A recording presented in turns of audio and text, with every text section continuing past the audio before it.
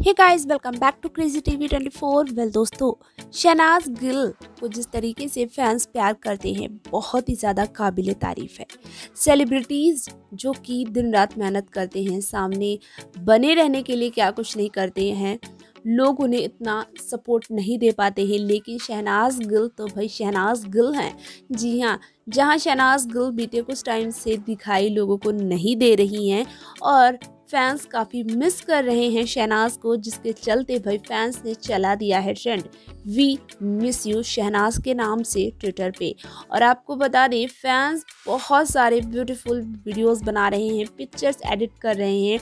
और सभी के सभी ये कह रहे हैं कि शहनाज भाई, हमें आपकी बहुत याद आ रही है। जल्द से जल्द भाई सामने आ जाओ, इतने दिन का गैप मत लिया करो, क्योंकि फैंस काफ़ी ज़्यादा सच में बहुत प्यार करते हैं शहनाज को। चाहे वो जो भी प्रोजेक्ट्स करती है, छोटा हो, बड़ा हो, जैसा भी हो, हर प्रोजेक्ट को देखने के लिए फैंस रेडी हैं।